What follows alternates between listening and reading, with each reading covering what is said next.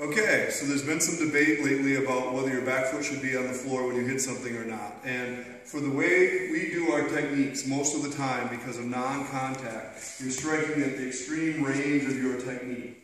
So from here, this doesn't really help you with the impact. In fact, keeping your heel down stops your hip from moving. And you can do the same technique with the same power and pick up your back heel and you will get more more penetration because your hip keeps moving at the point of impact. This is a little more confusing when you are shifting. It's generally going to be a waste of time for you to try to put your foot down and hold the impact back.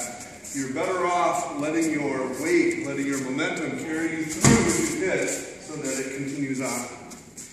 Your heel down, in my opinion, is meant for close distance. If we're at this distance, having my heel up doesn't help me. At this distance, plant your foot and drive through the guys when you hit them. And I think most self-defense situations that were conceived of in kata were designed for this close. So maybe he throws a punch, you cover it, and you drill him by driving through the body, not with any long shifting technique. Or you step through the technique. Punches, you drive in and step. You need your feet planted because you're keeping the balance.